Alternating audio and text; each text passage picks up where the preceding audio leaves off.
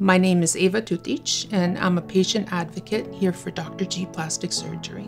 And what I've done in our practice is I've taken that um, ERAS program and I've kind of expanded on it and created a process approach to not just postoperative care, but pre-op care for our patients. And it's implementing things like pre-op Zoom prior to their actual pre-op before surgery, putting together recipes and nutritional programs for patients before they have surgery, putting together an Amazon storefront where I've curated different items where patients can actually go, recommendations on supplements and medications and different garments and stuff like that.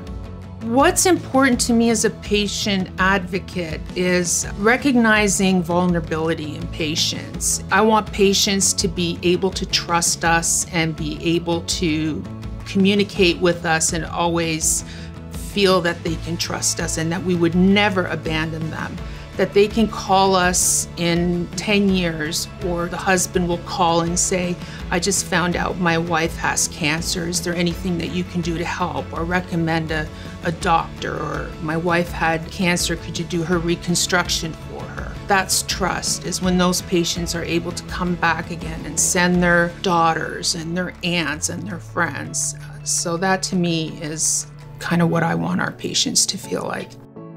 Dr. G and I take this practice very seriously. Our patients are family. We've done everything and we will continue to do everything for our patients because that's who we are as people. And if we can't represent who we are to our patients, then we have no business to be open. That's our commitment.